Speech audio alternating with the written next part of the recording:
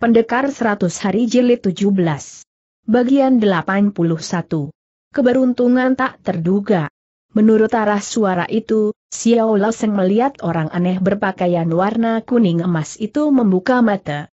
Kedua tangannya tampak gemetar dan tubuhnya pun agak merebah ke belakang.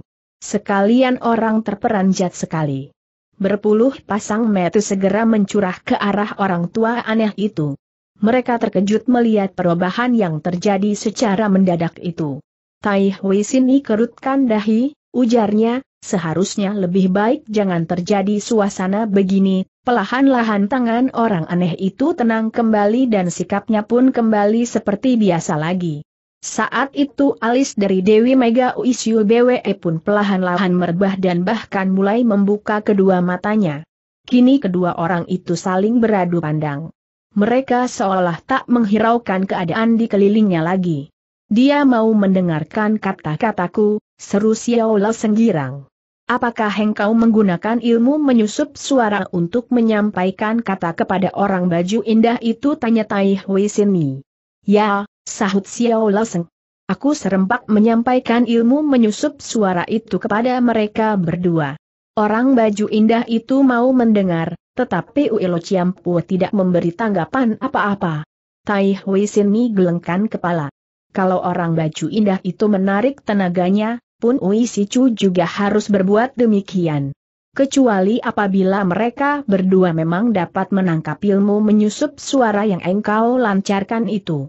Pada saat orang aneh itu menarik tenaganya, kita susuli pukulan untuk menahan tenaga Uilo Ciampu. Uili Sicu memiliki tenaga dalam yang amat sakti. Siapa yang mampu menerima hamburan tenaga saktinya? Aku sendiri pun tak sanggup kecuali aku memiliki ilmu Kim Kong Sin Kang. Jika demikian, ada harapan teriak Xiao Laseng seraya lari menghampiri maju. Xiao Koko teriak Hun Ing cemas. Saat Xiao Laseng sudah berdiri di belakang lelaki baju kuning emas. Dia menghadap pada Dewi Mega Uisyao BWE. Sambil dekapkan kedua tangannya ke dada ia berkemak-kemik mengucapkan beberapa patah kata kepada lelaki baju kuning emas itu. Melihat itu Tai Hui Sin pun serentak berteriak keras, jangan, jangan. Tetapi seiring dengan teriakan itu, Xiao Laseng pun juga menggembor keras saya dorongkan kedua tangannya ke arah kedua tangan Dewi Mega Uisyu BWE. Boom! Terdengar letupan keras macam batu karang hancur. Beberapa sosok bayangan berhamburan pencar dan meja yang terbuat daripada batu kemala itu pun hancur lebur berantakan. Xiao Seng mengerang tertahan. Tubuhnya terlempar sampai dua tombak jauhnya dan terbanting keras. Ia pingsan seketika. Tetapi Dewi Mega Uisyu BWE pun mencelat dari kursi, berjumpalitan sampai setombak jauhnya. Keempat darah baju biru serentak menyanggapi tubuh pemimpin mereka dengan tepat. Lelaki aneh baju kuning itu tetap duduk di kursinya. Tetapi secepat itu pula ia meloncat memeluk Xiao Laseng dan memeriksa denyut nadi pergelangan tangannya. Tai Hui Sin pun bergegas menghampiri dan berseru cemas, dia, bagaimana? Lelaki baju kuning emas itu melekatkan telinga untuk mendengarkan detak jantung Xiao Laseng. Sejenak kemudian ia berbangkit. Dia tak kurang suatu apa, bahkan malah bertambah dengan selapis tenaga dalam. Cobalah kalian periksa pacu kalian, dia tentu terluka parah, serunya. Hun Ying cepat memandang ke arah Jin Kian Pacu.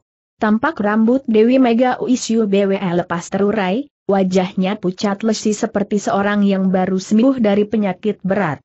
Saat itu ia sedang pejamkan mata menyalurkan tenaga dalam dan pernapasan. Wajah Dewi Mega tampak lebih cantik tetapi dahinya yang halus itu bertambah dengan lipatan kerut sehingga tampak ketuaannya. Bagaimana suhuku tanya Hun Ing cemas lelaki baju kuning emas menghela napas. Lo Seng telah berhasil menguasai ilmu hebat Kim Kong Put Hoai. Pukulan yang dilancarkan dengan sepenuh tenaga oleh Hui Siu BWE berarti telah memberikan seluruh tenaganya kepada Lo Seng. Tetapi saat ini darah Lo Seng sedang bergolak keras sehingga menutup jalan darahnya. Nanti setelah sadar, tentu akan sembuh sendiri sedang Ui Siu BWE nanti akan kehilangan seluruh tenaganya. Tai Hui Sini berseru terkejut. Dalam usia yang masih begitu muda, Lo Seng telah mendapat rezeki yang luar biasa. Dia seperti memakan buah ajaib macam som yang berumur seribu tahun. Sesungguhnya tak mungkin begitu muda dia sudah berhasil menguasai ilmu tenaga kebal Kim Kong Put Hoai. Tentu ada sebabnya. Ah, musibah yang menimpa diri Dewi Mega Uisyu BWE, adalah kesalahanku. Saat itu Uisyu BWE tampak membuka mata. Ah, sini tidak bersalah. Itu sudah menjadi kehendak takdir, huk, huk, ia batuk-batuk dan ludahnya bercampur darah. Tubuh wanita itu gemetar. Untung dua orang darah bujangnya segera menyanggapi. Hiat Set Molly bertiga segera berlutut di hadapan suhunya dan menangis, Suhu, apakah suhu terluka berat? Set Ji, Inji, Li Ji, tak apalah. Lekaslah engkau memberi hormat kepada Ciampu itu, seru Isyu BWE. Lelaki baju kuning emas buru-buru memberi hormat. Ah, harap Dewi Mega jangan banyak peradatan. Harap beristirahat sajalah. Berkata Ui Siu Bwe pula, sahabat ini memiliki ilmu kesaktian yang belum pernah kusaksikan seumur hidup.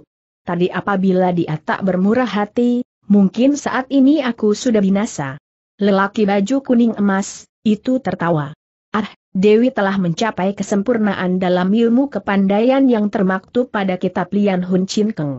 Jika Dewi tak bermurah hati tentu dalam babak pertama tadi, aku sudah terkapar. Jauh bedanya sikap kedua orang itu. Jika tadi mereka mati-matian mengadu jiwa, sekarang mereka saling berkata-kata dengan merendah. Sudah tentu Tai Huisin ni tak habis herannya. Bahwa Uisicu dapat sesaat menghapuskan segala garis jahat dan baik, sungguh suatu hal yang jarang. Uisi lapang dada murah hati, membuat aku menyesal dan malu sendiri. Dewi Mega Uisyu BWE menghela napas. Peristiwa yang lampau bagai awan di langit. Hanya menyedihkan hati apabila dibicarakan lagi. Dahulu karena tercengkeram oleh nafsu dendam, hampir saja aku melakukan kesalahan besar. Apabila tak mendapat penerangan dan petunjuk sini mungkin aku akan berlumuran dosa, ah, tetapi walau Dewi saat ini sudah sadar, sayang sekali seluruh kepandaian si Chu sudah lenyap. Aku sungguh menyesal karena tak dapat mewakili si Chu untuk menerima musibah itu, kata Tai Hui Sin ni pula. Dewi Mega Uisyu Bwe tertawa. Ah, Anda telah menguasai ilmu Tian Xiao Sin Kang, katanya kepada lelaki baju kuning emas. Tentulah murid dari Tian Xian Bun.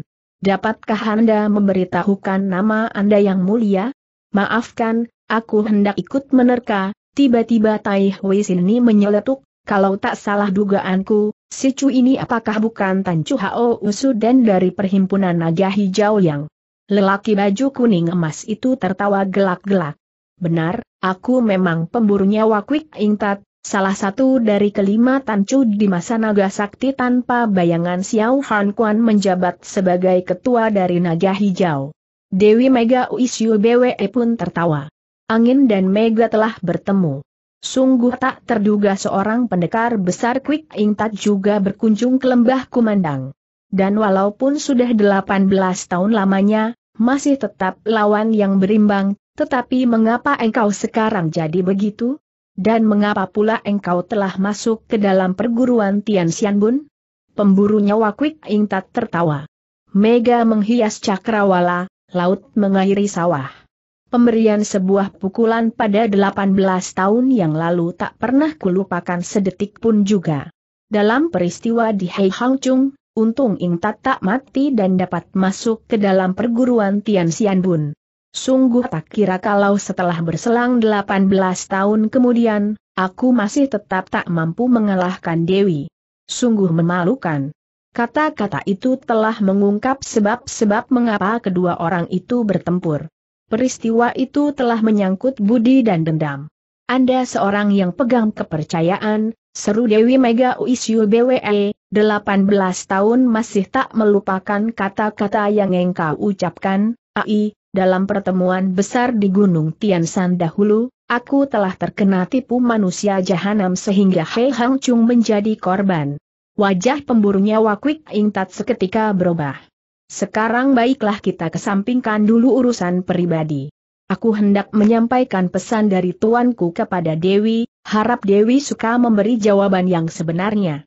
Oh, kukira engkau hendak menyelesaikan dendam lama, ternyata masih mempunyai lain kepentingan lagi. Adakah tuanmu itu orang tua peniup seruling yang buntung kakinya itu? Dewi, ku yakin engkau tentu tak dapat menduga bahwa tuanku itu bukan lain adalah pemimpin naga hijau naga sakti tanpa bayangan Siohon Kuan. Seketika berubah cahaya wajah Dewi Mega Uisyu BWE, apa? Dia itu Siohon Kuan. Dia tak mati dalam peristiwa Hei Hang Chung. Bukan saja tidak mati tetapi beliau kini menjabat sebagai ketua Tian Xian Bun. Dan telah menguasai ilmu sakti dari Tian Xiao.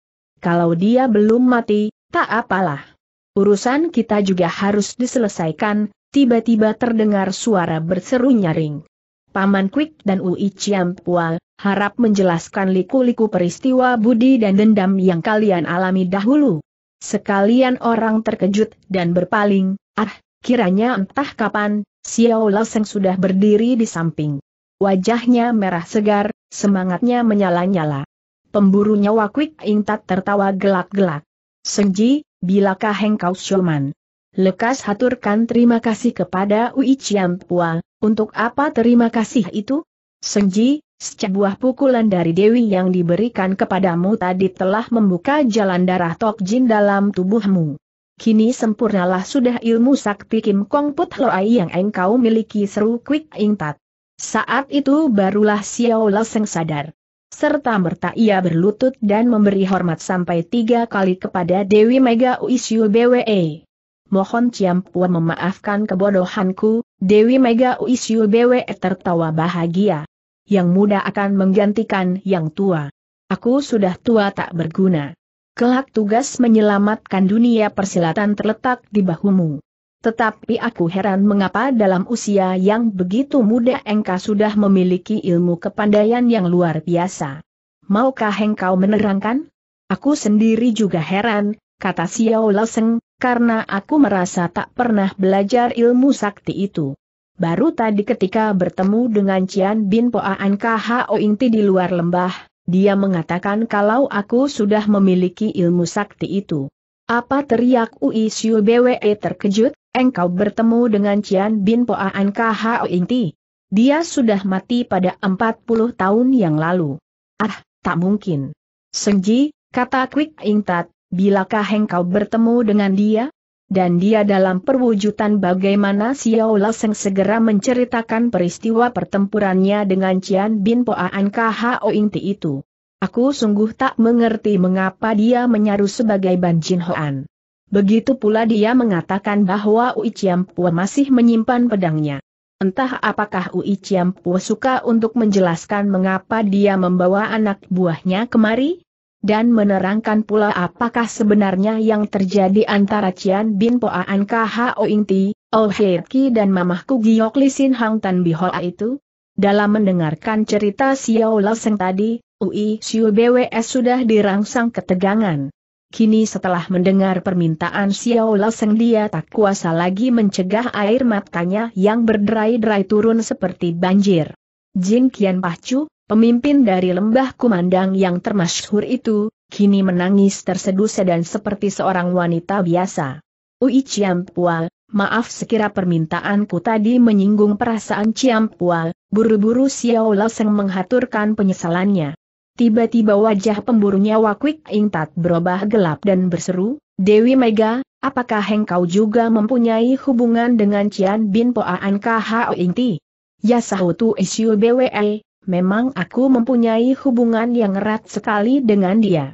Quick Ingtat, bukankah tadi engkau mengatakan hendak menyampaikan pesan tuanmu kepadaku? Sekarang katakanlah. Tuanku hendak bertanya kepada Dewi tentang peristiwa di Hei Hang Chung. Kabarnya hanya engkau yang mempunyai hubungan dekat dengan Giok Lisin Hang Tan Bihoa maka tuanku hendak bertanya hal itu kepadamu. Mohon tanya kepada Ui Chiam Pua, Tiba-tiba Xiao Laseng ikut bicara, adakah dahulu lembah kumandang juga ikut campur dalam peristiwa Hei Hang Chung itu? Dan benarkah mamahku mempunyai hubungan kasih dengan Cian Bin Poaan KHO Inti? Xiao Laseng mempunyai dugaan keras, tentu ada sebabnya mengapa ayahnya tak mau menceritakan semua peristiwa yang telah terjadi. Begitu pula ia masih ingat akan kata-kata KHO Inti, sebelum engkau jelas dengan asal-usul dirimu, hak apakah engkau hendak menuntut balas atas peristiwa berdarah di Hei Hang Chu itu? Apalagi engkau telah mengakui seorang penjahat sebagai ayah kandungmu. Kata-kata itu masih mengiang-ngiang di telinga Xiao Laseng. Senji, tiba-tiba berserulah Dewi Mega Uisyu Bwe dengan nada gemetar, Memang lembah kumandang ikut dalam peristiwa Hei Hang Chung. Berhasil merebut sebuah kitab Lian Hun Chin Keng dan salah satu dari tiga pusaka persilatan yang disebut Panah Cian Li Hiat Cian, Panah Darah Seribu Li. Tetapi lembah kumandang tak ikut dalam pembunuhan. Lalu bagaimana peristiwa yang sebenarnya terjadi tanya Xiao Laseng. Sumber dari musibah Hei Hang Chung itu adalah karena Xiao Han Quan telah berhasil mendapat pusaka Cian Li Hiat Cian dan dua buah kitab Lian Hun Chin Keng serta libatan liku-liku asmara yang aneh dari ketiga Sam Chai Sam Ing.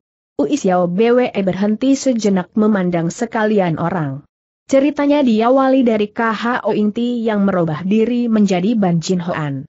Tetapi jika dia tidak mengaku bahwa Xiao Seng itu sebenarnya puteranya sendiri dan menuturkan semua peristiwa yang telah dialaminya, tentulah hal itu akan terpendam selama-lamanya. Mendengar kata-kata suhunya, serentak Hun Ing berseru, Suhu, kalau begitu Cian Bin Poaan KHO Ingti itu adalah Ban Jin Hoan pemimpin dari istana Ban Jin Kiong?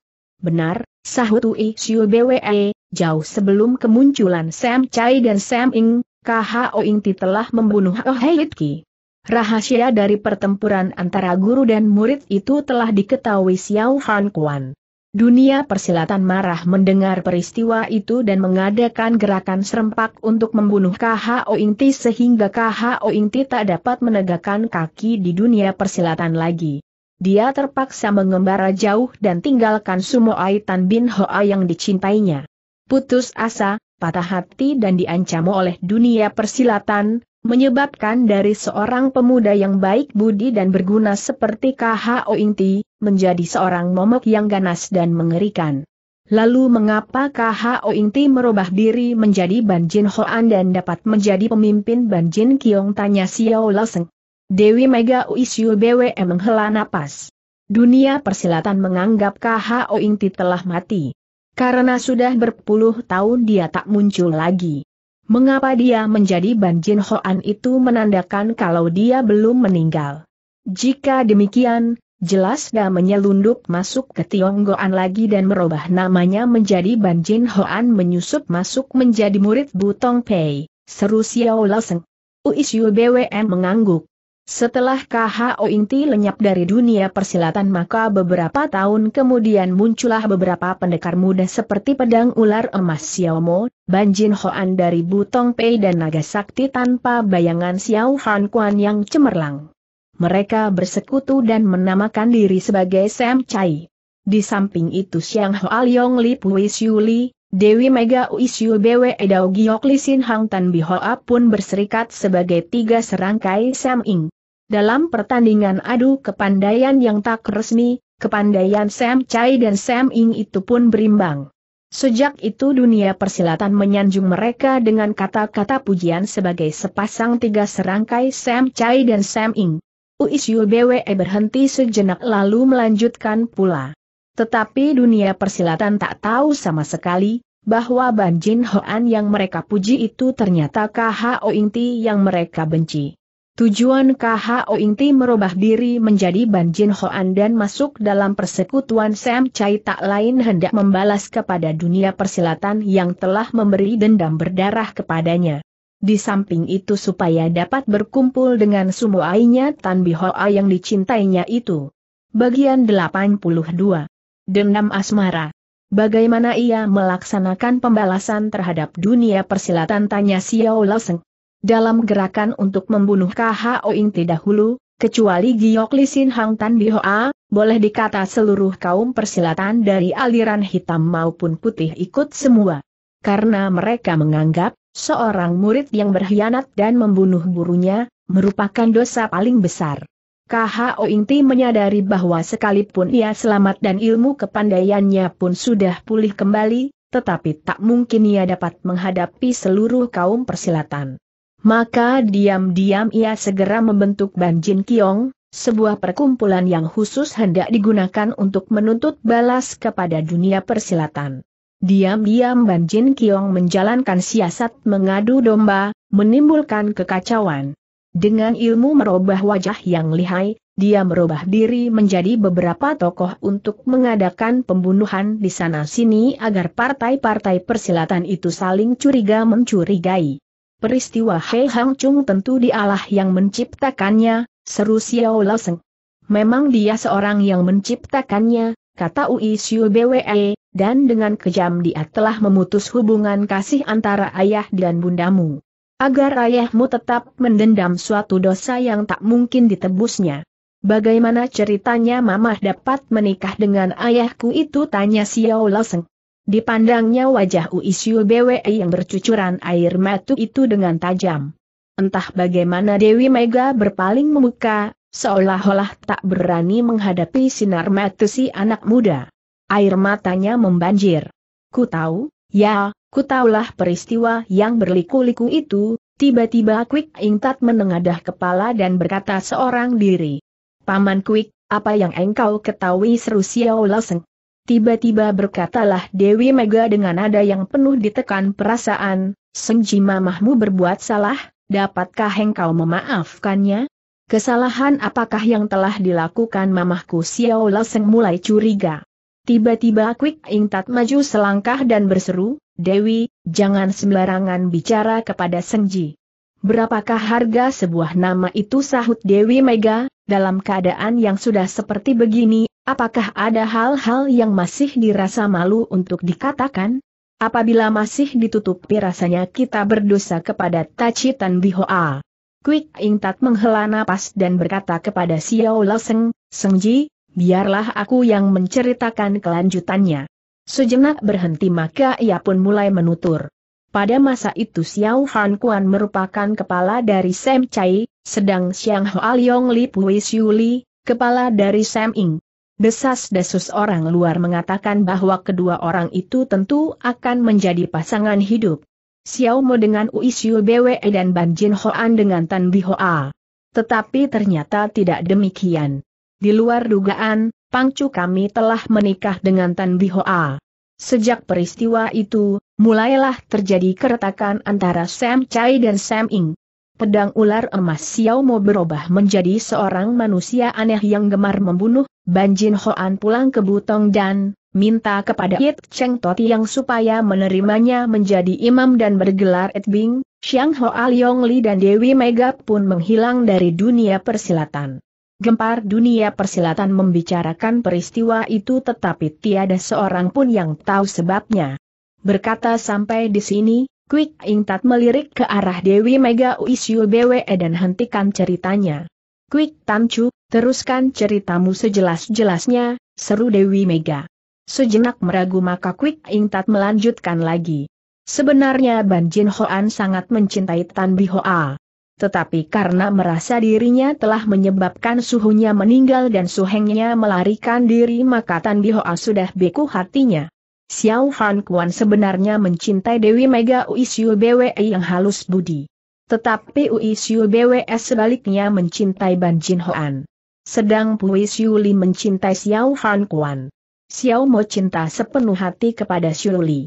Buru-memburu cinta itu, telah merupakan lingkaran asmara yang aneh yang dicinta, mencintai lain orang. Dan orang itu mencintai lain orang lagi. Berhenti sejenak, ia meneruskan lagi. Pada suatu hari secara tak sengaja Xiao Han Kuan telah menolong seorang tua yang tengah meregang jiwa. Dia bukan lain ialah Chet Hai Sucia, ketua pertama dari perkumpulan naga hijau.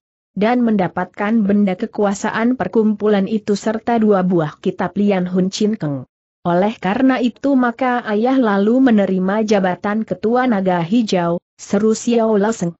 Pada waktu itu Xiao Han Kuan tak tahu bahwa dengan pusaka Cian Li Cian dapat menjadi ketua naga hijau. Tetapi Ban Jin Hoan tahu hal itu. Maka diam-diam ia merebut pusaka panah darah itu dan hendak merebut pimpinan naga hijau. Tetapi tindakannya itu telah dihalangi Dewi Mega Uisyu BWE. Oleh karena mencintai Ban Jin Hoan maka Dewi Mega selalu memperhatikan gerak-gerik Ban Jin Hoan. Lama-kelamaan Dewi Mega mulai mendapat kesimpulan bahwa Ban Jin Hoan memang mempunyai rencana tersendiri. Demi membuktikan pandangannya terhadap Ban Jin Hoan, Dewi Mega segera memberitahukan perasaan hatinya kepada Giok Lisin Hang Tan Bihoa. Pada waktu itu Tan Bihoa tak cinta Ban Jin Hoan. Walaupun orang luar mendesas-desuskan keduanya sebagai pasangan yang serasi, tetapi dia tak menaruh perhatian kepada Ban Jin Hoan. Tan Bihoa meluluskan permintaan Dewi Mega dan mengajarkan ilmu merubah wajah dan memperboleh Dewi Mega untuk menyaru sebagai dirinya agar dapat menguji isi hati Ban Jin Hoan yang sebenarnya. Sampai di situ, Quick Ing Tat berhenti sejenak dan memandang ke wajah Hun Ing dengan suara agak keras yang melanjutkan ceritanya. Cinta Ban Jin Hoan terhadap Tan Bihoa memang sudah mendarah daging. Sudah tentu Ban Jin Hoan terkejut dan menyambut girang kepada Dewi Mega yang menyaru sebagai Tan Bihoa itu. Karena dirinya dipandang oleh Quick Ing Tat, diam-diam timbullah rasa heran Hun Ing, mengapa dia memandang diriku? Apakah peristiwa mempunyai hubungan dengan aku? Ketika Quick Ing Tat bersangsi tak mau bercerita terus, Dewi Mega Uisyu BWS segera berseru suruh dia melanjutkan. Dalam ujian pertama itu, harus disayangkan bahwa Dewi Mega telah tak kuasa menekan rindu dendamnya kepada Ban Jin Hoan. Dan tergelincirlah kesuciannya. Oh, itulah sebabnya maka Ban Jin Hoan salah menyangka kalau aku putranya, tiba-tiba Xiao Leseng berseru. Pemburu nyawa Kwik Ing Tat menghela napas, ujarnya, setelah mengalami peristiwa itu, mulailah Uisyu Bwe benci akan keganasan Ban Jin Hoan. Berulang kali dia hendak membuka rahasia diri Ban Jin Hoan tetapi tak sampai hati. Karena hal itu maka timbullah akibat yang menyedihkan di desa Hei Hang Chung. Saat itu Ui Siu Bwe menangis terisak-isak. Sekalian anak muridnya merasa iba dengan suhunya. Di antara Sam Ing, hanya Siang Hoa Leong Li Pui Siu Li, yang paling lincah, cerdas. Karena cintanya terhadap Xiao Han Kuan, ia memberitahukan hal itu kepada Xiao Han Kuan dan menasehatkan agar Xiao Han Kuan jangan melanjutkan cintanya kepada Dewi Mega Uisyu BWE. Tahu bahwa Uisyu BWE telah dicemarkan kesuciannya oleh Ban Jin Hoan, Quick Ingtat melanjutkan pula, dia kalap dan mendendam. Dia hendak membalas dendam. Dengan tergesa-gesa dia memaksa Giok Lisin Hang Tan Hoa mengumumkan pernikahannya kepada dunia persilatan dan menerima jabatan ketua dari Naga Hijau lalu tinggal di desa Hei Hang Chung. Dia berbuat begitu karena hendak membalas dendam kepada Ban Jin Hoan karena sesungguhnya dia tidak mencinta Tan Hoa. Tetapi walaupun tindakannya memang dapat mematahkan semangat Ban Jin Hoan, akhirnya telah menimbulkan akibat yang hebat dan mengerikan. Dengan begitu Pui Shuli juga tidak berhasil mendapat cinta Xiao Han Kuan walaupun sudah memberitahukan rahasia diri Ui Xiu Bwe dengan Ban Jin Hoan, tukas Xiao Leseng, kebalikannya Ban Jin Hoan yang kehilangan Tan Bi Hoa dan marah terhadap Dewi Mega Ui Xiu Bwe yang membocorkan rahasia itu kepada Xiao Han Kuan, makin meluap dendam kebenciannya kepada Xiao Han Kuan. Diam-diam dia telah mengerahkan tenaga dan pengaruh Ban Jin Kiong untuk menyebar fitnah kepada kaum persilatan yang tak tahu jelas akan persoalan Sam Chai dan Sam Ing. Kaum persilatan percaya bahwa Xiao Han Kuan telah merebut kekasih Ban Jin Hoan dan kedudukan ketua naga hijau serta bertujuan hendak menguasai dunia persilatan. Seluruh partai-partai persilatan segera serempak menyerbu Hei Hang Chung dan terjadilah pembunuhan besar-besaran itu. Kesimpulan yang diuraikan panjang lebar oleh Xiao Seng itu dibenarkan Quick Ing Tat. Tetapi gerakan serempak dari partai-partai persilatan ke Hei Hang Chung itu walaupun menggunakan dalih untuk menghukum perbuatan yang tak benar dari Xiao Han Kuan tetapi sebagian besar mereka memang mengandung maksud untuk merebut panah pusaka Cian Li Hiat Cian dan dua jilid kitab Lian Hun Chin Keng. Dalam peristiwa Hei Hang Chung itu apakah lembah kumandang dan naga hijau ikut dalam pembunuhan tiba-tiba Xiao Laseng bertanya. Jangan terburu nafsu dulu, kata Quick Ingtat, baik lembah kumandang maupun naga hijau sesungguhnya datang hendak mencegah pertempuran berdarah itu. Setelah Xiao Han Quan menikah dengan Tan Biho maka Pui Yuli karena putus asa hendak bunuh diri tetapi dapat diselamatkan oleh Dewi Mega Uisyu BWE. Kedua taci adik seperguruan itu saling menumpahkan peristiwa kehancuran hati yang dialami mereka. Kemudian mereka mencapai sepakat untuk tetap bertahan hidup. Dan sejak itu mereka menghilang dari dunia persilatan. Padahal secara diam-diam mereka telah membentuk lembah kumandang untuk menghadapi Banjin Hoan, menghalangi tindakan-tindakan orang Banjin Kiongjiang. Hendak mengacau dunia persilatan. Tetapi di luar dugaan, dunia persilatan menganggap lembah kumandang itu sebagai gerombolan aliran hitam. Tiba-tiba Dewi Mega Uisyu BWM menghela napas. Biarlah aku yang melanjutkan ceritanya. Karena dengan begitu barulah dapat meringankan dosaku dan mengurangi penderitaan batinku. Kata-kata terakhir itu diucapkannya dengan nada tersekat. Hun Ing cepat maju memapahu isu BWE, serunya, suhu, jangan keliwat bersedih. Apa yang lalu telah lalu. Walaupun membuat kesalahan yang bagaimanapun besarnya, pun telah lenyap dihanyutkan seng waktu. Pun Quick Ingtat meminta agar Isyu BWE beristirahat saja lalu bercerita lagi. Rencana penyerangan ke Hei Hang Chung itu timbul dari keinginan Ban Jin Hoan secara mendadak sekali sehingga dalam keadaan terburu-buru Dewi Mega Uisyu BWE meminta Sumoainya, Pui Li, supaya memberitahu kepada Xiao Han Kuan. Sedang dia sendiri akan memberi penjelasan kepada pimpinan partai-partai persilatan supaya jangan melanjutkan rencana mereka. Tetapi ternyata Greg Pui Yuli ke Hei Hang Chung telah diketahui oleh Ban Jin Hoan. Tujuan Pui Yuli yang baik, telah dikacaukan menjadi suatu peristiwa dendam. Oh, bagaimana ceritanya tanya Xiao Laseng. Sejenak melirik ke arah UI Xiu BWE, Quick Ingtat melanjutkan pula. Karena tak mau mengejutkan perhatian orang maka Pui Yuli langsung menemui Xiao Han Kuan dalam kamar tulisnya. Dia menceritakan semua rencana Ban Jin Hoan dan menganjurkan supaya Xiao Han Kuan lekas-lekas meloloskan diri. Tetapi Xiao Han Kuan sudah tak mau ingat pertalian kasih kepada Pui Yuli lagi. Dia menyambut dingin nasihat Pui Yuli bahkan mendamprat nona itu karena berani masuk ke kamar tulisnya. Sesungguhnya pada saat berhadapan dengan Xiao Han Kuan, timbullah kenangan asmara lama di hati Pui Shuli. Menerima teguran yang pedas dari Xiao Han Kuan, ia marah dan balas mendamprat. Ribut-ribut dalam kamar tulis itu telah terdengar oleh Xiao Mo yang segera masuk ke dalam kamar itu.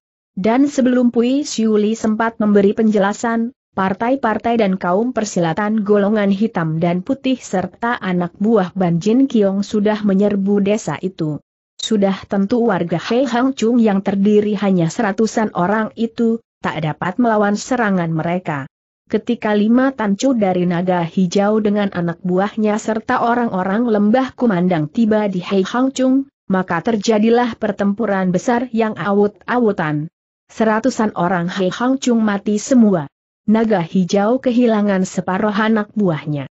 Tetapi lembah kumandang yang untung, karena berhasil mendapatkah jarum Cian Li Hiat Set dan sejilid kitab Lian Hun Chin Keng. Mendengar itu mereganglah bulu Roma Xiao Laseng. Dalam peristiwa pembunuhan di Hei Hang Chung itu kukira yang menjadi korban hanya warga Hei Hang Chung saja, ternyata banyak anak buah naga hijau yang korban jiwanya. Ban Jin Hoan, aku bersumpah akan mencincang tubuhmu. Senji, apakah engkau masih ingat berapa orang saudaramu itu tanya Ui Siu Bwe? Kalau tak salah, aku mempunyai seorang engkoh dan dua orang adik lelaki. Tetapi mereka mati semua dalam pembunuhan itu, jawab Xiao Laseng. Tahukah engkau bagaimana mereka terbunuh tanya Ui Siu Bwe pula. Tak tahu, jawab Xiao Laseng, karena sejak kecil aku sudah menderita penyakit lumpuh yang sering kambuh. Oleh karena itu maka aku dipisahkan dengan saudara-saudaraku. Aku hanya dijaga oleh seorang bujang. Tetapi ketika aku terbangun dari mimpi, Kulihat tiada seorang pun dalam kamarku tetapi kulihat tengkoku Xiao Loi dan adikku Xiao Lope telah menjadi mayat yang mengerikan. Ketika itu aku pun menangis.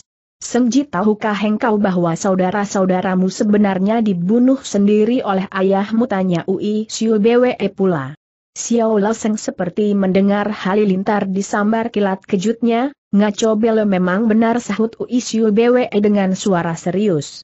Walaupun menikah dengan Xiao Han Kuan, tetapi mamahmu tidak merasa berbahagia, kata Ui Siu Bwe pula, demi menjabat ketua perkumpulan naga hijau maka Xiao Han Kuan menyembunyikan diri rapat-rapat sehingga dia mendapat gelar sebagai naga sakti tanpa bayangan.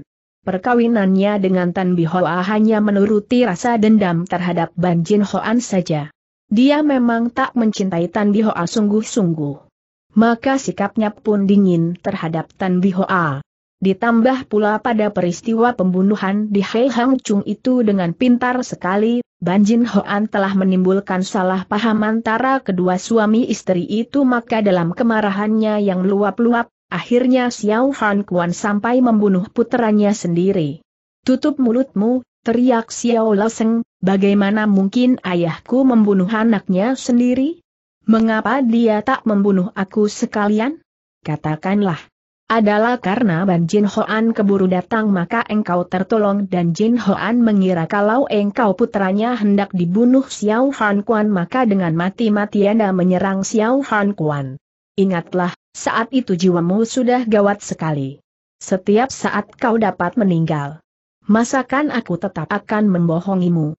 Apa buktinya kalau mamah dan saudaraku dibunuh ayah sendiri seru Xiao Laseng? Macan yang buas pun takkan makan anaknya, kata Dewi Mega Uisyu BWE, memang sukar dipercaya kalau aku mengatakan seperti tadi. Tetapi hal itu memang mamahmu sendiri dikala mau menutup mata, yang mengatakan kepadaku. Mamahmu sebenarnya benci kepada ayahmu. Tetapi ia dapat memaafkan ayahmu. Dalam kemarahannya, mamahmu telah nekat menyerbu ke dalam pertempuran dan akhirnya binasa. Mendengar itu amarah Xiao Laseng seperti diguyur air es, serunya, benarkah itu? Aku tentu akan bertanya kepada ayah. Senji, engkau pun harus memaafkan ayahmu. Belasan tahun dia telah menderita siksaan hidup, lahir dan batin.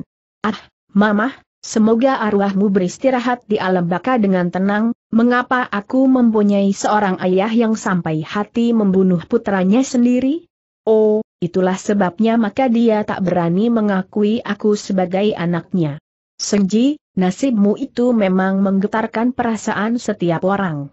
Tetapi apa boleh buat, mungkin itu garis hidupmu dan terimalah dengan lapang dada, kata Ui Siu Bwe, ketahuilah Tiada hal yang paling menyedihkan pada hati seorang lelaki kecuali melihat istrinya berada dalam pelukan lain lelaki, apalagi dalam keadaan yang genting itu. Karena tak ingin putranya dibunuh orang maka ia menghabisi jiwa putranya itu sendiri. Apa? Apakah mamahku berbuat serong seru Xiao Laseng?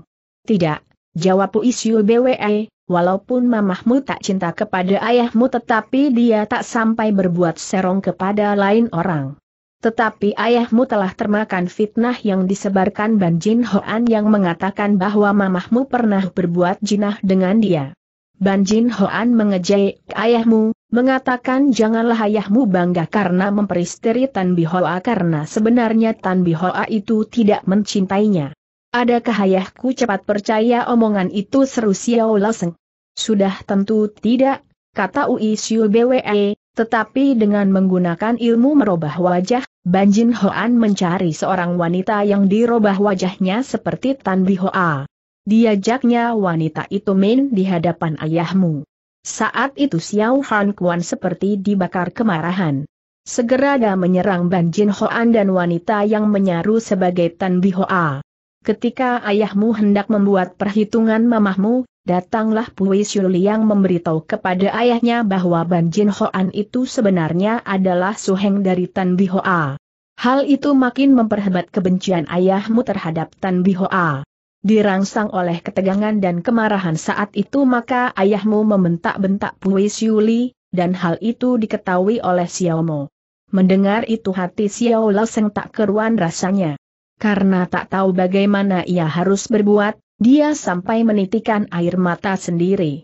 Adakah pamanku Xiao Mo juga membenci ayahku dan ikut turun tangan mencelakainya tanya pemuda itu.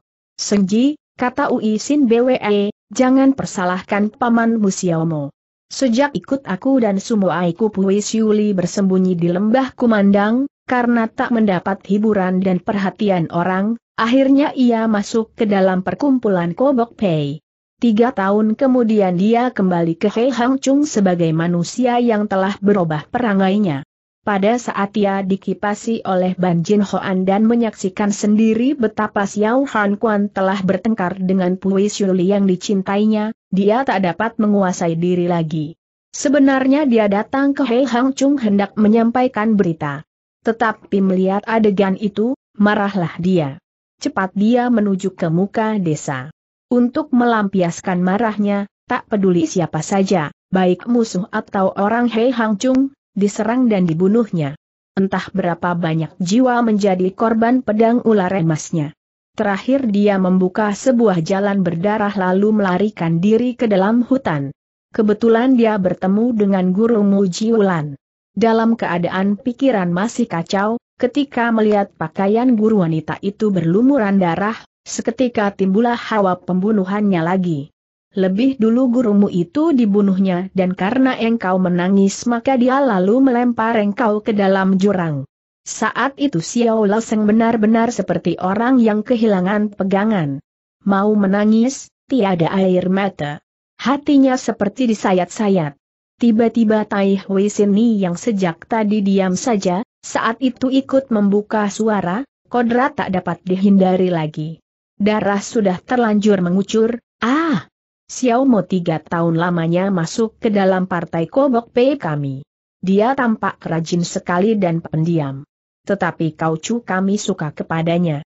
Tak sangka setelah pulang ke desanya, dia harus tercebur dalam pertumpahan darah yang begitu hebat. Mengapa selama bertahun-tahun menyelidiki, Aku tak berhasil memperoleh keterangan tentang peristiwa itu tanya Xiao Laseng. Uisyu BWM memberi jawaban. Setiap orang yang terlibat dalam peristiwa, masing-masing mempunyai kesalahan. Sudah tentu mereka tak mau membuka rahasia itu. Engkau tak mau membuka rahasia itu. Engkau tak sampai mati adalah disebabkan Ban Jin Hoan masih mengandung setitik harapan, agar mamahmu tetap masih mempunyai kasih kepadanya. Ban Jin Hoan memang ganas sekali, tiba-tiba Dewi Mega Uisyu BWE berganti nada keras, kesemuanya itu adalah dia yang menciptakan. Apabila lembah kumandang dan naga hijau masih tetap berdiri, pada suatu hari mereka tentu akan membuat perhitungan dengan manusia ganas itu.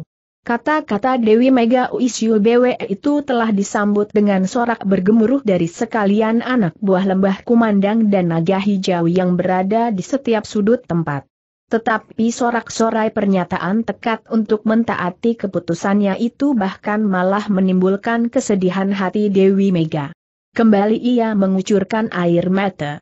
Ciampua, mengapa engkau mengucurkan air mata lagi tanya Xiao Laseng heran. Aku merasa dosaku juga besar, katanya tersendat, kalau dulu tidak, tentu takkan terjadi peristiwa yang berdarah semacam itu. Ciampua, engkau tak bersalah, kata Xiao Laseng, ah, sesungguhnya nasib Ciampua sendiri juga tak beruntung. Suhu, Hun Ying menyeletuk, jangan bersedih hati. Akulah yang akan menghimpas dendam suhu itu. Bagian 83 Istana Selaksa Hantu Tiba-tiba pula Xiao Laseng berpaling kepada pemburunya Wakwik Ingtat, serunya Paman Kwik, di manakah ayahku sekarang? Dia memikat supaya budak emas Ang Xiong Pik tinggalkan lembah ini. Sekarang aku pun juga tak tahu dia berada di mana. Tetapi menurut dugaanku, dia tentu menuju ke Banjin Kiong untuk mencari Banjin Hoan. Jika begitu aku harus ke Banjin Kiong, kata Xiao Laseng. Seorang diri tanya Hun Ing. Bagaimanapun juga aku harus membuat perhitungan dengan Banjin Hoan, kata Xiao Laseng. Kemudian ia menyampaikan berita yang diucapkan oleh adik angkatnya Bok Yang Keng kepada sekalian orang di situ. Banjin Kiong pasti akan melaksanakan rencananya, kata Xiao Laseng pula, untung sekarang kita masih dapat menghancurkan kekuatannya. Hanya saja tak boleh bertindak secara gegabah melainkan secara diam-diam menyerbu dan pada suatu saat yang tak diduga-duga, kita serempak bergerak menghancurkan Banjin Kiong. Habis berkata ia berpaling ke arah Tai Hui Sini lalu Quick Ingtat, serunya. Kuharap Paman Quick dan Tai Hui Sini Ciampu suka memberi bantuan. Entah bagaimana pendapat Ciampu. Quick Ingtat tertawa gelak-gelak. Tanpa engkau minta, aku sendiri juga akan membuat pertarungan dengan Banjin Kiong. Tahukah engkau bahwa jiwaku orang tua ini juga hampir melayang di tangannya, kata Quick Ingtat. Tai Hui Sini menghela napas. Omi Tohut. Xiao Xiao Hiap, kabut rahasia yang menyelimuti dendam darahmu, kini sudah tersingkap jelas. Ku tahu engkau tentu mendendam sekali. Walaupun engkau mempunyai dendam tak dapat hidup di bawah kolong langit dengan Banjin Hoan. Tetapi engkau harus tahu bahwa dendam dan pembalasan itu akan berlarut-larut tiada berkeputusan. Demi membalas dendam di Hei Hang Chung, entah sudah berapa banyak jiwa yang engkau bunuh. Tahukah engkau berapa banyak anak yang sebatang kere karena ditinggal oleh kedua orang tuanya? Betapa sengsaralah hidup mereka itu? Xiao Seng tergetar. Seketika teringatlah ia akan semua peristiwa yang telah dialaminya selama ini. Bukan maksudku hendak melarang engkau membalas dendam, kata Tai Hui Sini, Banjin Hoan mempunyai dendam darah kepadamu. Dia pun seorang durjana dunia persilatan. Setiap orang berhak untuk menumpasnya, sebagaimana setiap kaum persilatan berhak untuk menjaga keselamatan dunia persilatan. Tetapi kini darah dan korban sudah banyak sekali yang jatuh. Aku tak sampai hati lagi melihat timbulannya peristiwa berdarah pula. Kuharap apabila mungkin dihindarkan, hindarkanlah. Petunjuk sini sungguh mulia sekali. Menandakan bahwa sini mengandung hati welas asih yang besar. Maka aku pun tak berani memaksa sini harus ikut dalam perjalanan ini, kata Xiao Laseng. Tai Hui Sini, Hun Ing ikut bicara, gerakan untuk menumpas Banjin Kiong harus tetap dilakukan. Kita tak menumpasnya, dia akan menumpas kita. Apalagi saat ini mungkin adik Cuing, Pek Wan Taisu serta paderi anak buah barisan Tatmo Ko Citin masih berada di tangan mereka. Betapapun kita tak dapat tak bertindak menolong mereka. Apa? Paman Pek Wan masih ditawan di Banjin Kiong Xiao Laseng berseru kaget. Ya, sahut Hun Ing, bahkan mungkin kesadaran pikiran mereka pun telah dihilangkan. Barisan Tatmo Ko Citin dari Xiao Lim Si, menggetarkan seluruh dunia persilatan. Bagaimana mereka dapat ditawan pihak Ban Jin Kiong? Apa pula Pek Wan Taisu itu seorang tokoh sakti? Walaupun dalam tawanan Ban Jin Kiong, mereka tentu takkan terancam bahaya, kata Tai Hui Sini. Tiba-tiba kedengaran Uisyu BWM menghela napas ringan, serunya. Kali ini perhitungan sini kurang tepat. Walaupun barisan Tatmo Choa Citin itu tiada lawan tetapi bukan tandingan dari ilmu Tian Xiao Mogak dari perguruan Tian Xian Bun. Tian Xian Mogak, hanya Xiao Han Kuan dan Ang Xiong Pik yang pernah mempelajari. Bahkan Quick Sichu pun belum tentu mengerti, mengapa dalam Banjin Kiong terdapat orang yang mempelajari ilmu itu. Berkata pemburu nyawa Quick Ingtat. Benar sini, ilmu Tian Xiao Mogak itu memang tak sembarang orang mampu mempelajarinya. Hampir 60 tahun lamanya suhuku mempelajari ilmu itu. Pun baru dapat menguasai empat buah irama sedang empat irama yang lain berada pada ke-47 batang jarum ular emas itu. Kecuali Pangcu dan Buddha emas Ang Xiong Pik, aku sendiri tak mempunyai kesempatan untuk belajar ilmu itu. Tiba-tiba Quick Ing tak teringat sesuatu, serunya. Apabila Sin Ni tak mengatakan ilmu Tian Xiao Gak Ching itu, Mungkin aku lupa akan tujuanku datang kemari, mohon tanya kepada Dewi, bagaimanakah dengan 20 batang jarum ular emas itu? Bukankah ke-27 batang jarum ular emasku itu telah direbut pihak lembah kumandang tanya Xiao Laseng? Memang benar, sahut Ui Siu BWE, keempat Su Tai Tian Ong dari lembah kumandang telah berkhianat mencuri jarum itu serta pena Keng Hun Pit. Begitu pula sejilid kitab Lian Hun Chin Keng, ah, inilah kegagalanku yang paling besar. Tak kira kalau keempat Tai Tian Ong yang kudidik itu ternyata anak buah Ban Jin Kiong. Ah, urusan makin lebih gawat, kata Kwik Ingtat. Dosa bertimbun dosa, seru Tai Hui Sini, sungguh tak kira kalau Ban Jin Kiong memang benar-benar mengandung rencana untuk menguasai dunia persilatan. Memang kekuatan Ban Jin Kiong makin dahsyat. Mereka sudah dapat menguasai separuh bagian dunia persilatan. Dan manusia mumi yang dibuatnya itu setingkat lebih tinggi dari buatanku. Untuk menggempur Banjin Kiong memang bukan suatu pekerjaan gampang, kata Ui Siu BWE. Sambil mendengarkan percakapan itu, Xiao Laseng mondar-mandir di luar ruang. Xiao Koko, hendak ke manakah engkau tanya Hun Ing yang cepat menghampiri. Xiao Laseng berpaling. Kebetulan pandang mata keduanya saling beradu. Dan sorot mata nona itu seperti memancar sinar dendam dan kasih. Xiao Laseng buru-buru palingkan muka untuk menghindari pandang mata si Nona. Aku hendak ke Banjin Kiong, melakukan apa yang harus kulakukan, habis berkata pemuda itu terus berputar tubuh dan melesat keluar ruang. Terdengar suara anjing menyalak. Anjing putih yang sejak tadi mendekam di tepi, saat itu menyalak keras lalu lari menyusul langkah Xiao Laseng. Omi Tohut, Tai Hui Sini menghela napas, seorang anak yang keras hati, seorang anak yang bernasib malang. Tiba-tiba Hun Ing menjerit dan berlutut di hadapan Dewi Mega Uisyu BWE. Subo, perkenankanlah aku dan saudara-saudara dari perkumpulan kita semua untuk menuntut balas. Beribu-ribu anak buah naga hijau pun segera berlutut. Mereka menumpahkan pandang ke arah Dewi Mega. Pandang yang memohon keputusan dari pimpinan mereka. Bangunlah kalian semua. In, engkau pun lekas bangun. Aku mengawulkan permintaanmu, akhirnya Dewi Mega Uisyu BWM memberi keputusan dengan nada yang rawan. Serentak terdengarlah sorak-sorai yang gegap gempita. Karena girangnya, Hun Ing segera memeluk kedua kaki Dewi Mega. Dua butir air mata menitik dari kelopak mata nona itu. Dewi Mega membelai-belai rambut Hun Ing. Ia menghela napas penuh kedukaan dan kerawanan. Air matanya pun berderai-derai mengucur ke tanah. Tiada seorang pun yang mengetahui isi hati pemimpin lembah kumandang itu. Helaan napasnya itu penuh mengandung dengan berbagai derita perasaan. Derita dari perjalanan hidupnya di masa yang lalu. Suatu perjalanan hidup yang telah memberi akibat penderitaan lahir dan batin sehingga sampai detik itu dia telah melakukan suatu perbuatan yang seharusnya takkan dilakukan dan sebenarnya tak ingin dilakukannya. Tetapi kesemuanya itu telah terjadi. Dan apa yang telah terjadi tak mungkin akan dihapus kembali. Malam itu sunyi sekali. Dan amat pekat karena di tengah musim rontok.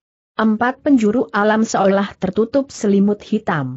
Dalam kegelapan malam yang pekat itu sesosok bayangan melesat keluar kemudian dikejar oleh dua sosok bayangan lagi. Hai, berhenti. Saat ini tak boleh keluar. Tempat ini terlarang. Seiring dengan teriakan itu lima lelaki baju hitam dan bersenjata golok segera berhamburan keluar dari dalam hutan dan menghadang jalan. Sosok bayangan yang pertama segera hentikan langkah, mengeluarkan sebuah lengpei lencana, dan berseru. Aku menerima titah dari Sao Kongcu untuk memeriksa penjagaan di istana. Hari ini akan dilakukan upacara. Semua tempat harus dijaga keras. Mendengar itu kelima baju hitam itu pun buru-buru mengiyakan, baik, Lao Jintin dan kawan-kawan, anak buah dari istana ke-1, akan melaksanakan perintah. Berapa banyak penjaga di sini? Salah seorang baju hitam menyahut, kelompok muka lima orang. Kelompok belakang sepuluh orang, orang itu mendengus. Baik, sekarang keluarkan pertandaan lenghu kalian. Kelima baju hitam itu segera merogoh ke dalam baju untuk mengambil keluar pertandaan. Tiba-tiba dua orang pendatang yang mengaku sebagai petugas ronde itu maju dan secepat kilat menutup. Hanya beberapa orang, suara tertahan dari mulut yang terdengar dan kelima orang baju hitam itu pun serempak rubuh ke tanah. Xiao Koko, kata pendatang yang pertama tadi, inilah pos penjagaan terakhir dari lingkung luar Banjin Kiong. Di dalam masih ada sepuluh orang yang harus kita bereskan. Bok Yong Te, setelah lingkung luar ini, apakah masih ada penjagaan lain lagi tanya Xiao Seng. Setelah 104 buah pos penjagaan luar, hanya terdapat sebuah jalan rahasia di bawah tanah. Di situ dijaga oleh 12 pos penjagaan. Menurut keterangan, penjaga di situ yang jaga adalah 12 manusia Kim Kong atau kebal. Mereka memeriksa setiap orang yang hendak masuk ke dalam istana di bawah tanah. Setiap pos penjagaan diperkuat dengan dua regu barisan manusia yang kehilangan pikirannya. Sekali memberi perintah kedua regu manusia mumi itu segera akan menyerang memang hebat dan mengerikan sekali. Harap Toako jangan memandang rendah. Jalan ke istana di bawah tanah itu, apakah hanya sebuah jalanan kecil saja tanya Xiao Leseng. Antara istana bawah tanah dengan istana di atas tanah terpisah oleh sebuah lembah buntu. Lembah itu sempit dan dalam, keempat dindingnya setebal tembok benteng. Penuh tanaman hutan dan pakis yang licin. Sering tertutup kabut tebal penuh dengan ular berbisa. Tak mungkin dilalui orang. Xiao Seng terkejut. Lalu mengapa bala bantuan kita dari luar itu dapat masuk ke dalam istana bawah tanah dan bertempur dengan mereka? Kalau mereka tetap menjaga di dalam, bukankah kita tak berdaya untuk menggempur mereka? Atau apakah mereka memang tak kenal pada kita? Bok Yang Kang tertawa. Sudah tiga bulan lamanya aku menyelundup ke dalam barisan Algojo yang terdiri dari 42 orang. Karena itu aku agak paham akan jalan-jalan dan pintu-pintu istana itu. Mengapa aku sampai tak dapat dipergoki karena setiap anak buah Banjin Kiong itu tentu mengenakan kerudung muka sehingga sukar untuk saling mengenali. Asal berhasil masuk ke dalam istana bawah tanah dan menerima perintah dari Chong Kiong Chu, kepala istana, tentu kita dapat bergerak dan bertindak. Di manakah Pek Wan Taisu ditahan? Apakah adik Cuing juga berada dalam istana Banjin Kiong ini? Tanya Xiao Laseng. Memang Pek Wan Taisu dan seluruh anak buah barisan Toat Moko Citin telah tertangkap dalam perangkap istana. Menurut keterangan yang kuperoleh mereka berada di istana Junwa Kiong atau Lian Hun Kiong. Karena kedua tempat itu digunakan untuk memberi hukuman kepada murid hianat atau tawanan. Tentang N.I.O. Chuing, sampai saat ini belum pernah berhubungan dengan kami. Tentu berbahaya keadaannya. Tiba-tiba Bok Yang Kang hentikan kata-katanya dan berbisik. Awas, Regu penjaga belakang akan tiba. Hati-hati menjalankan rencana kita. Memandang ke muka, Xiao Laseng melihat sebuah rombongan lentera hijau sedang bergoyang-goyang di dalam hutan yang jaraknya antara setengah li. Di bawah gerumbu lentera itu terdapat sebuah rumah pondok. Selintas pandang mirip dengan sebuah rumah petani. Menyusur sebuah jalan kecil, keduanya segera tiba di rumah pondok itu. Aneh, rumah pondok itu sunyi senyap. Bok Yong Te, mengapa di sini sunyi-sunyi saja? Mungkin tak ada alat rahasia di sini, kata Xiao Laseng. Aneh, Bok Yang Kang juga heran, tempat ini jelas merupakan pos istimewa dari Ban Jin Kiong, mengapa tiada barang seorang penjaganya? Cobalah kulihatnya. Ia menghampiri ke pondok dan berhenti setombak jauhnya. Hai, apakah kalian di sini mati semua? Mengapa kalian tak keluar menjaga tetapi ternyata tiada penyahutan apa-apa? Tiba-tiba Xiao Lao menggunakan ilmu jari Kim Kong Cikeng ke arah pondok itu, bum, terdengar beberapa benda rubuh.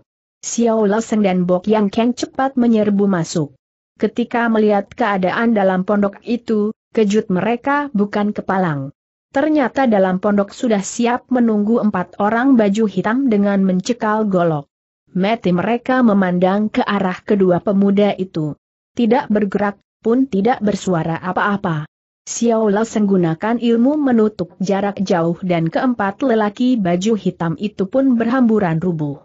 Bok Yong Te, lebih dulu mereka sudah ditutup jalan darahnya oleh orang, Xiao Lao sengkerutkan dahi. Apakah ada tokoh sakti yang mendahului kita Bok Yang Kang terkejut? Mari kita selidiki, kata Xiao Lao Seng seraya lari keluar, berputar ke sekeliling tempat lalu kembali. Di luar terdapat enam orang anak buah Ban Jin Kiong yang juga telah tertutup jalan darahnya. Hebat sekali kepandaian orang itu, kata Xiao Lao Seng. Tak mungkin kalau N.I.O. Chuing, sambut Bok Yang Kang, karena setelah masuk, tak mungkin kawan-kawan yang berada di dalam itu akan keluar lagi. Memang besar kemungkinan kalau N.I.O. Chuing tentu sudah tertawan. Kalau tidak masakan dia tak berusaha mencari hubungan dengan kita. Tetapi yang jelas, orang aneh itu sehaluan dengan kita. Mari, waktunya sudah tak mengizinkan lagi, kata Xiao Laseng. Hari ini istana Banjin Kiong penuh dengan tetamu-tetamu dari lima gunung. Tentu di antara mereka terdapat tokoh-tokoh yang sehaluan dengan kita.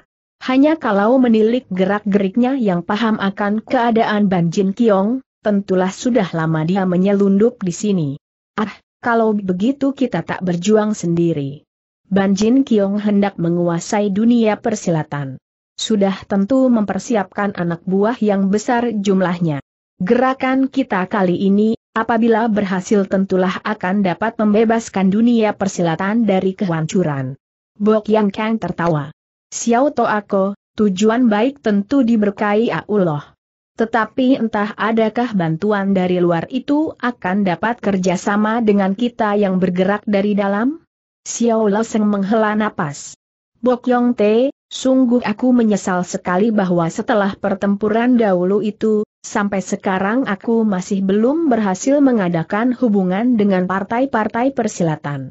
Kebalikannya malah mengikat salah paham dengan mereka. Tetapi malam ini aku berani memastikan. Yang datang ke Banjin Kiong ini nanti tentu tak kurang dari seribu orang jumlahnya. Kalah atau menang, tergantung dari cara kita untuk mengatur langkah. Aku percaya saja atas setiap langkah yang Xiao Toako hendak memutuskan. Saat itu mereka sudah tiba di jalan kecil yang menuju ke istana bawah tanah.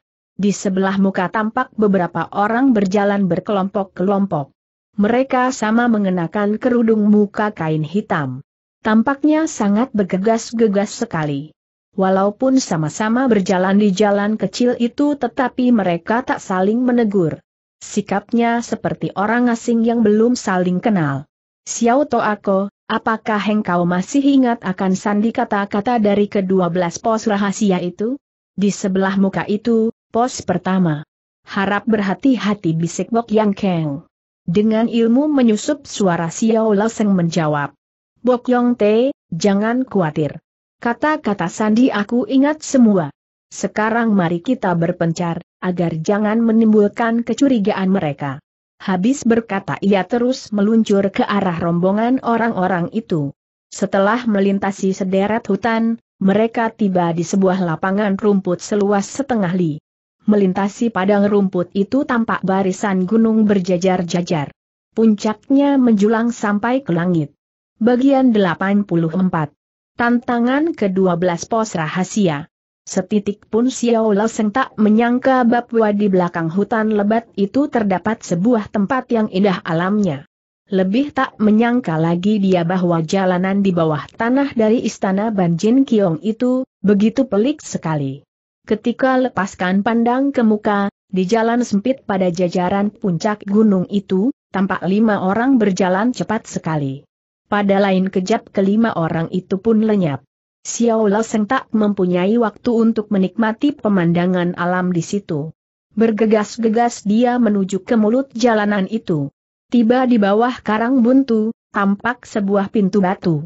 Di atas pintu melintang sekeping papan batu yang bertuliskan Pos pertama. Pada saat Xiao Seng tengah memandang papan nama itu tiba-tiba sebuah suara parau membentaknya. Apanya yang perlu dilihat? Kalau takut menghadapi perkara, jangan datang kemari. Xiao Seng terkejut. buru-buru ia melangkah masuk seraya berseru nyaring, cabang ketujuh dari Kuhan GWA. Xiao Kok Su, mohon diperiksa. Dari balik pintu batu kembali terdengar suara teriakan yang kasar, di situ bukan tempat yang aman, berpaling ke belakang akan melihat tepi. Jalan ini dapat mencapai ke negara emas, lekas masuk, sahut Xiao Laseng. Tiba-tiba suara dari balik pintu batu itu tertawa gelak-gelak, nomor tujuh dari Kuhan GWA, masuklah. Apa yang diucapkan oleh kedua orang itu merupakan kata-kata sandi. Karena Xiao Laseng dapat menanggapi dengan tepat maka dia pun segera diperintahkan masuk. Begitu masuk ke dalam pintu batu itu, Xiao Laseng segera melihat seorang tua Kate, berwajah seperti kanak-anak, sedang rebah di atas sebuah kursi goyang. Tangannya mencekal sebuah kipas dari batu kemala dan tengah berkipas-kipas diri. Empat penjuru merupakan gerumbul pohon kui hoa. Tiada seorang lain kecuali si Kate itu. Rupanya orang Kate itu pun pura-pura tak melihat Xiao Laseng. Tanpa mengisar pandang mata ia segera bersenandung. Belibis berkawan-kawan terbang ke selatan, burung walet terbang pulang ke sarang, oh, manusia yang bodoh menyerahkan diri, ke dalam istana Mokyong. Sebenarnya Xiao Laseng tak percaya kalau orang Kate itu memiliki suara yang berkumandang besar berwibawa. Tetapi setelah mendengar senandungnya, barulah ia terkejut dan berhenti. Dipandangnya orang itu sejenak lalu menghampiri dan memberi hormat. Mohon. Tempat ini bukan tempat yang aman, tukas orang tua kata itu. Berpaling dan engkau akan melihat tepi.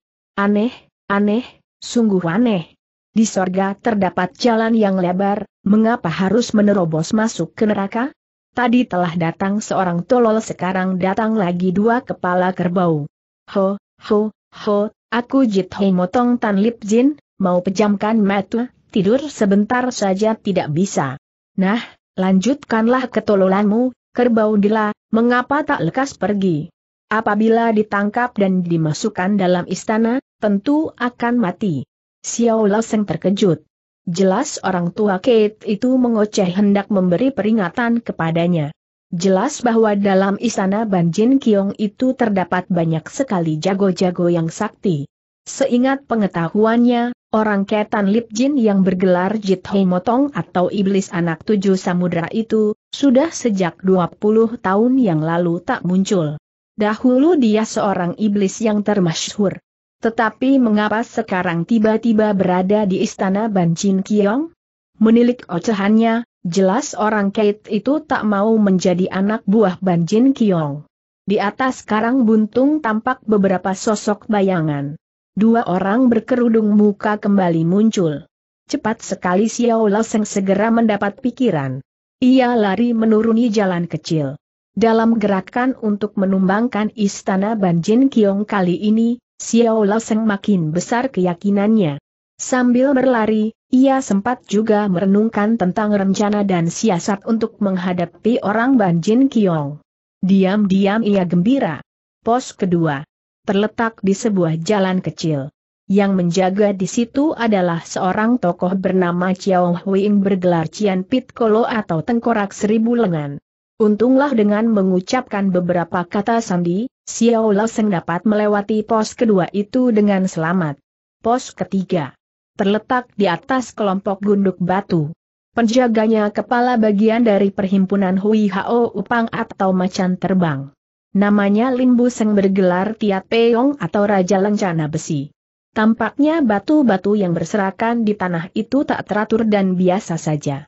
Tetapi sesungguhnya merupakan sebuah barisan bentuk Kio Kiong Tin atau barisan sembilan istana. Orang yang tak mengerti ilmu barisan, sekali masuk tentu akan tersesat tak dapat keluar. Dan datanglah Tiat Peong Limbu Seng segera akan menangkapnya. Bagi Xiao Laseng, sudah tentu barisan batu itu bukan suatu halangan. Pos keempat. Dijaga oleh Chiong Suing yang bergelar Kyokot Mochun atau Iblis Sembilan Tumpas. Dia duduk di sebuah meja kecil di tepi jalan. Di atas meja kecil itu terdapat sepuluh macam obat, sembilan macam racun yang bekerja pelahan dan satu macam bubuk racun yang luar biasa ganasnya. Setiap orang yang lalu di situ, harus memilih satu macam dan harus segera diminum saat itu juga. Entah dia mati atau hidup, iblis Chong Suing itu tak menghiraukan dan melepaskannya. Juga rintangan ini bagi Xiao Seng tak menjadi soal. Karena sudah mendapat kisikan dari Bok Yang Keng maka dia dapat memilih dengan tepat dan terus menelannya. Sekalipun begitu untuk menjaga kemungkinan yang tak diinginkan, diam-diam Xiao Seng juga menggunakan siasat. Dikumpulkannya racun itu dalam mulut lalu dalam suatu kesempatan yang tak terduga, segera ia memuntahkannya lagi keluar. Pos kelima. Penjaganya adalah seorang tokoh yang pada 40 tahun berselang telah menggetarkan dunia persilatan. Seorang iblis yang aneh sepak terjangnya. Ya termasuk aliran hitam, juga termasuk aliran putih. Dunia persilatan menjulukinya dengan gelar Sehangitsu atau golok tunggal dari barat namanya Pui Sehiap. Iblis tua itu tetap mengenakan dandanan aneh seperti 40 tahun yang lalu. Pakaiannya, separuh pakaian wanita, separuh pakaian pria. Caranya untuk menguji setiap pendatang yang menghampiri ke tempat posnya juga aneh. Orang itu akan diserang dari belakang dengan golok. Jika dapat menghindari, orang itu bebas melanjutkan perjalanan. Tetapi kalau tak tahu cara bagaimana harus menghindar, jangan harap ia mampu lolos dari golok yang pernah menggemparkan dunia persilatan 40 tahun yang lalu. Pada saat Xiao Laseng tiba di pos kelima itu, dilihatnya dua sosok mayat manusia rebah di tanah. Sudah tentu karena mendapat keterangan dari Bok Yang Kang, Xiao Laseng dapat lulus dari serangan golok Pui Sehiap. Pos ke-6. Penjaganya benggolan iblis dari Tibet yang terkenal sangat kejam, licik dan ganas. Namanya Cialui, bergelar Pektok Kun atau manusia seratus racun. Ketika Xiao Seng tiba di pos ke-6 itu maka Pektok Kun Cialui segera menyongsong dengan tawa yang aneh. Pada saat engkau rasakan perutmu sakit, nah, saat itulah merupakan hari terakhir bagimu. Sekarang silahkan engkau melanjutkan perjalanan. Xiao Leseng terkejut. Diam-diam ia kerahkan tenaga dalam untuk menguji keadaan tubuhnya. Ternyata tak terdapat suatu anggota dalam tubuhnya yang tak wajar. Tetapi pada saat ia hendak melepaskan pengerahan tenaga dalam itu, tiba-tiba ia rasakan tubuhnya dingin sekali. Ia kaget dan menyadari bahwa dirinya telah termakan racun. Sebelum ia sempat membuka mulut, Tok Kun Cialui sudah mendahului menghela napas rawan. Apabila hal ini terjadi pada tempo dahulu, saat ini engkau tentu sudah terkena racun Kuhian Ping Tok Cheng. Tetapi mengingat engkau sudah berhasil menjaga pos yang keenam, maka aku takkan menyulitkan engkau dan silahkan engkau pergi. Pos ketujuh. Ketika melihat sesosok tubuh duduk membelakangi di atas sebuah dingklik sambil minum arak maka Xiao Laseng pun segera berseru, kepala cabang nomor tujuh dari Kuhan GWA. Belum selesai kata-katanya itu, tiba-tiba orang tua aneh itu melonjak. Xiao Laseng yang memang sudah siap sedia, terus hendak menghantam. Tetapi ternyata kakek berambut putih itu tidak menyerang melainkan berteriak dengan gembira. Hi, tua bangka Lemki, akhirnya engkau datang juga. Sudah bertahun-tahun aku menunggumu, tetapi tiba-tiba pula ia hentikan kata-katanya lalu memandang Xiao Leseng dengan marah, bentaknya, Hai, siapa engkau? Engkau pengapakan si tua Lemki itu, lekas bilang atau kupukulmu mati. Ternyata kakek berambut putih itu memakai kacamata dan waktu memandang Xiao Leseng kacamatanya pun menunduk ke bawah sehingga hampir jatuh. Dengan mata memancar berapi-api, ia melangkah menghampiri Xiao Leseng. Sikapnya seperti hendak menyerang. Xiao Leseng cepat mundur beberapa langkah, serunya gopoh, apakah engkau bukan naga laut terbang Lukong Tui? Teng kau atau naga laut terbang Lukong Tui cepat sekali menghampiri ke dekat dan tiba-tiba tangan kirinya direntangkan, jari-jarinya yang menyerupai cakar burung Garuda itu segera menerkam muka Xiao Laseng. Pemuda itu kaget sekali. Dia tak menduga sama sekali bahwa kakek yang belum dikenalnya itu akan menyerang sedemikian cepat dan ganas. Cepat ia gunakan jurus Cian Liong Jiu atau tabasan naga untuk menabas raya gunakan gerak putaran yang aneh untuk menyurut mundur sampai tujuh delapan langkah. Budak, siapakah engkau ini bentak naga laut terbang Lukong Tui, kalau tak mau memberitahu namamu, engkau tentu kupukul mati. Dalam berkata-kata itu, Lukong Tui pun sudah mengisar maju ke muka Xiao Laseng. Tetapi Xiao Laseng tak gentar. Bukannya mundur kebalikannya ia malah maju untuk lancarkan tiga buah tutukan jari seraya balas membentak. Aku Xiao Kok Su akan menangkapmu untuk mendirikan pahala besar.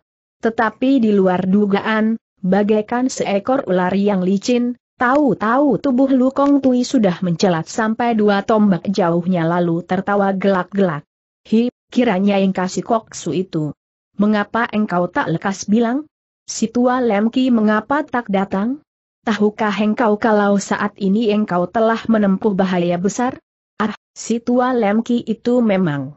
Xiao Laseng tertegun. Tetapi cepat juga ia dapat menanggapi apa yang dikatakan kakek aneh itu. Katakanlah, bahaya apa yang telah kuterjang itu?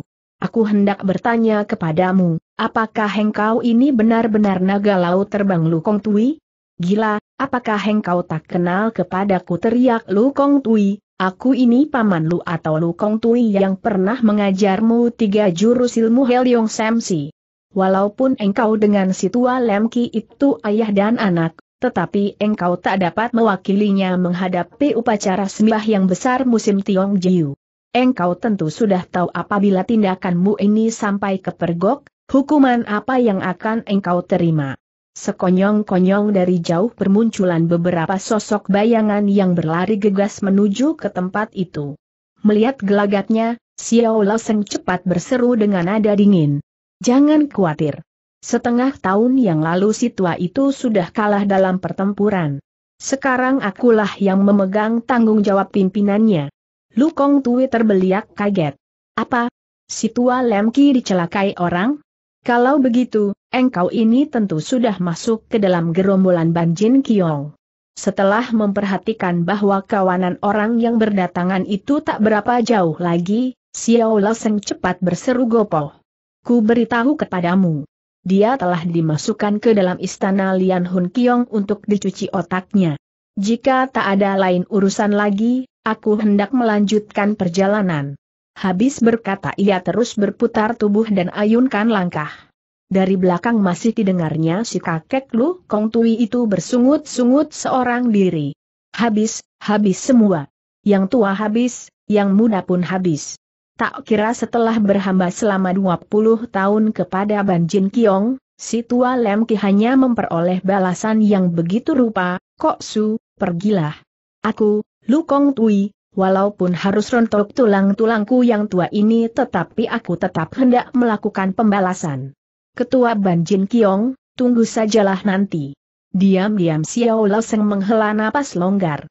Ah, apabila dia tak menerima petunjuk Wok Yang Kang untuk menyaru sebagai Xiao Kok Su, tak mungkin saat itu dia dapat melewati tujuh buah pos penjagaan. Pos ke-8 dijaga oleh Momo Iblis yang termasyhur ialah cakar setan Tan Pingbun. Tetapi Xiao Laseng berhasil juga melewatinya. Pos ke-9. Penjaganya bernama Tio Yan Lip, seorang iblis yang bertubuh tinggi sehingga hampir 2 meter. Sepasang tangannya menyerupai sepasang kipas. Kedua kakinya bagai dua buah tonggak yang kokoh. Kepalanya pun besar tetapi otaknya kosong alias tolol. Maka dengan gunakan sedikit siasat, dapatlah Xiao Laseng melintasi pos penjagaan itu. Pos ke-10. Penjaganya bekas Chong Hao Uhwat atau kepala pelindung dari perhimpunan Giok Lipang. Seorang wanita bernama Choa Shoki bergelar Raja Wali Metunglu. Walaupun saat itu dia sudah tua tetapi kecantikannya masih tampak membekas. Dari seorang wanita yang termasyhur gagah dan cantik pada 20 tahun berselang, kini dia telah berubah menjadi seorang wanita yang pendiam jarang berkata. Dia hanya mengajukan sebuah pertanyaan dan setelah dijawab tepat oleh Xiao Laseng, maka pemuda itu pun dipersilahkan berjalan. Pos ke-11. Di pos ini penjaganya beda dengan yang lain-lain. Dia adalah ketua dari perkumpulan macan terbang, pangeran berwajah riang Ongpok Goan. Yang istimewa dia mempunyai binatang peliharaan seekor harimau buas. Saat itu harimau tampak kurus karena kelaparan sekali. Binatang itu mendekam di sisi Ongpok Goan. Pangeran berwajah tertawa itu tidak lagi tertawa mukanya tetapi malah menghela napas. Penjaga dari pos ke-10, apakah bukan Ui Shulkoa tanyanya. Xiao Seng terkejut. Diam-diam ia menimang dalam hati, ketua perkumpulan Giok Li Pang Ui mengapa muncul di sini? Bukankah wanita itu pada 18 tahun yang lalu membunuh diri karena putus asa, merindukan kasih kepada ayah Xiao Seng tetapi ayah Xiao Seng atau Xiao Han Quan tak membalas cintanya? Bukan, Pos ke-10 itu dijaga oleh Raja Wali Metu Ungu Choa Shoki, bukan Ui Shokoa, sahut Xiao Laseng. Kembali Ongpok Goan menghela napas. Oh, dia. Ku tahu memang selamanya tak mungkin kalau Ui Shokoa. Pergilah engkau. Demikian dia dengan tanpa banyak rintangan. Xiao Laseng dapat melalui pos ke-11 yang menyeramkan itu. Dia terus melanjutkan perjalanan menuju ke pos ke-12. Dia harus melalui sebuah lembah yang penuh ditumbuhi pohon jati dan bambu. Sisi kanan dari lembah itu merupakan sebuah karang yang curam dan menjulang tinggi. Dari atas karang itu menumpah sebuah air terjun.